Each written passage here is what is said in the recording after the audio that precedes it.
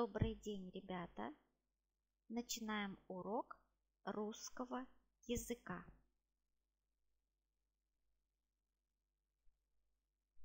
Откройте тетради, запишите тему урока. Сила слова.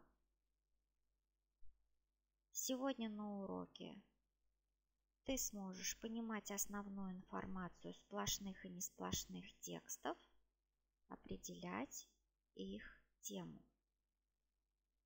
Определять основную мысль на основе содержания композиции, а также будешь пересказывать содержание текстов, используя эмоционально окрашенные слова.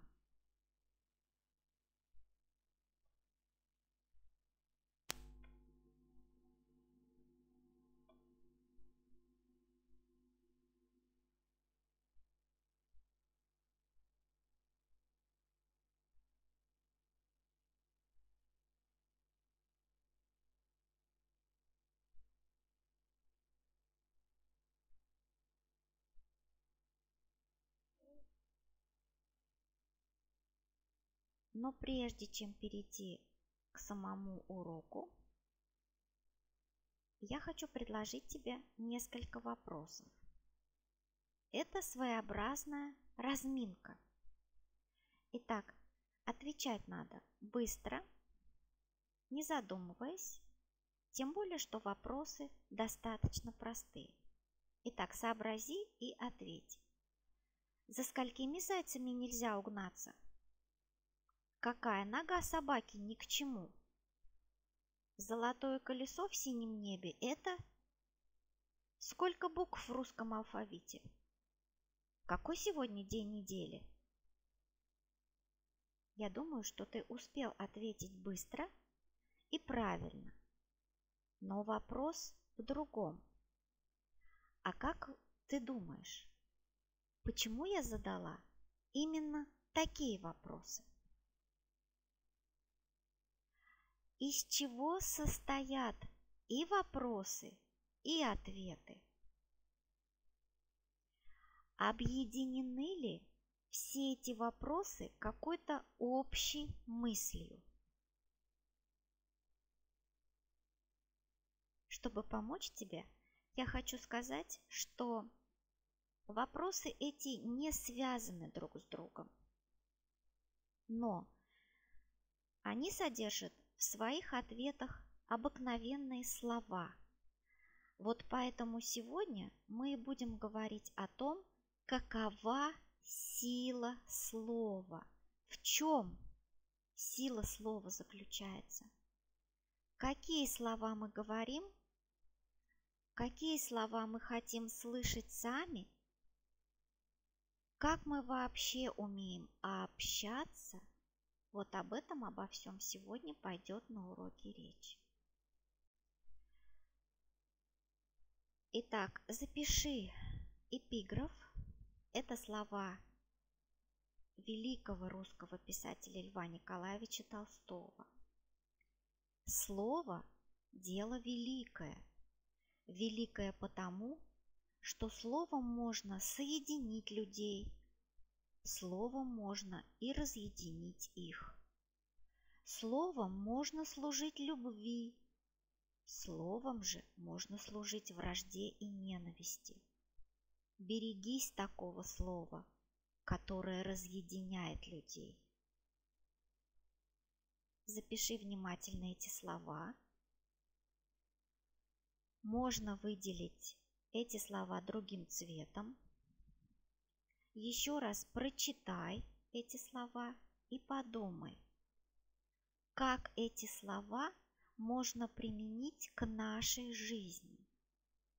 В чем смысл этих слов? О чем писатель предостерегает всех нас?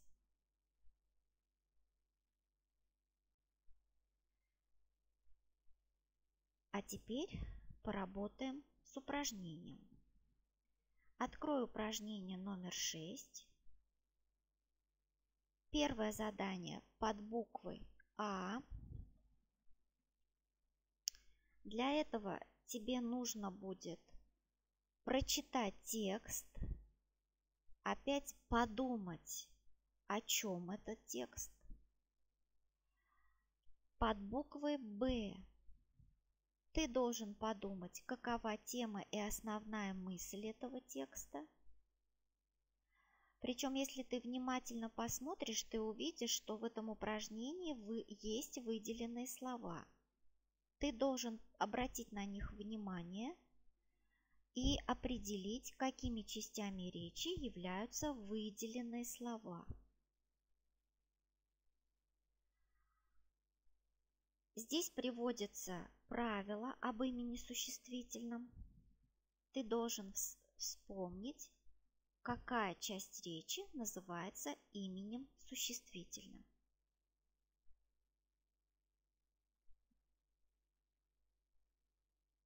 Вспомни еще один момент. Что называется сплошным текстом? А что такое несплошной текст? Сплошной текст – это текст, отрывок, взятый из художественного текста, например.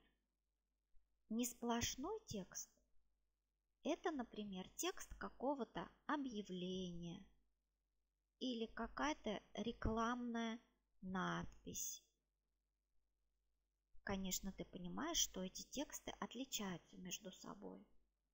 И вот после того, как ты вспомнишь это, перейди к выполнению упражнения номер 10, в котором как раз тебе даны примеры объявлений.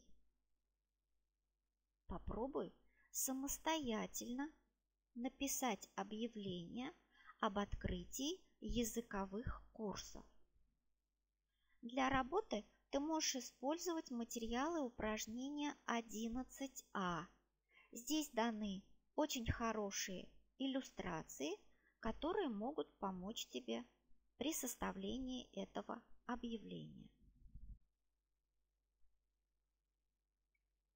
Подводя итог нашему уроку, Пожалуйста, прочитай свое объявление вслух и подумай, может ли случайный прохожий заинтересоваться твоим объявлением?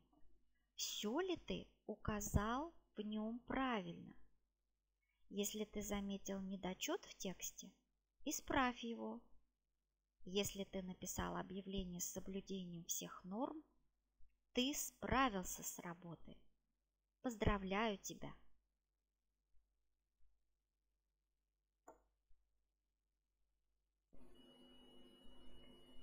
Работая самостоятельно, открой страницу 9.10 в учебнике.